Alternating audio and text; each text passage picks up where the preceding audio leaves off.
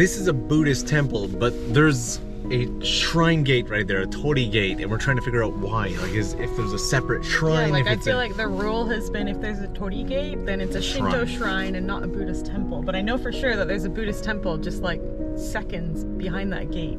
So why is there a gate? I can't find anything saying that there's a shrine here. It's all temples. It all says temples. Buddhist temple.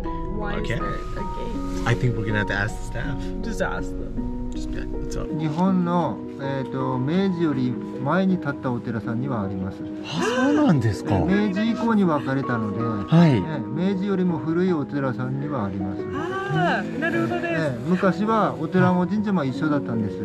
すごく勉強になります。神社はもともとはお寺さんが管理してたものなんです、はい。ええなので、えああ、わかえりました後から分かれた ありがとうございます。ありがとうございます。